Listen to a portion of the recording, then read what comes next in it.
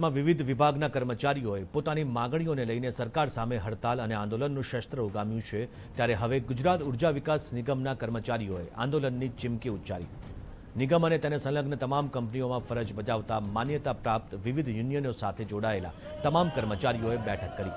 ઊર્જા વિકાસ નિગમના કર્મચારીઓએ તેમને સાતમા પગારપંચ સહિત વિવિધ પડતર માગને તાત્કાલિક ઉકેલવાની માગ સાથે આવેદન આપ્યું. ઊર્જા વિકાસ નિગમના કર્મચારીઓએ સરકારને એકવીસ દિવસનું અલ્ટિમેટમ આપ્યું છે.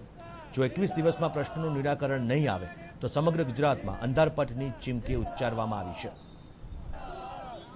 ટેકનિકલ કર્મચારીઓને વર્ગ ત્રણમાં સમાવેશ કરીને તેના લાભ આપવા માટે અમારા રિસ્ક એલાઉન્સ ફિલ્ડ એલાઉન્સ અને બીજી એલાઉન્સ બાબતે જે વિસંગતતાઓ રહી ગઈ છે, તેને દૂર કરવા માટે તથા અમારા મીટર રીડર ભાઈઓને બીજા ચોથા શનિવારની રજા જેવા અલગ અલગ મુદ્દા માટે આજે અમે મેનેજમેન્ટશ્રીને તથા સરકારશ્રીને આંદોલનની નોટિસ આપી છે.